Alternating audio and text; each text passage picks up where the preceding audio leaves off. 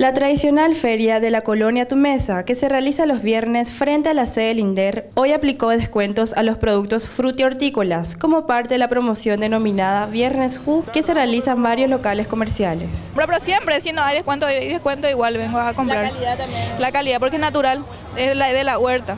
Es la huerta. No soy habitué, pero este, suelo pasar por acá y a mí es un placer este, comprar a gente este, de, tierra adentro, yo soy campesino también, eh, ver el fruto, el sacrificio de ellos, venir a colaborar, llevar a un precio muy especial. Por ejemplo, el pollo casero sale a 20 mil guaraníes, por ejemplo, el queso paraguay está a 20 mil guaraníes. Y a mí es un placer venir a colaborar con gente. Todos los viernes vengo.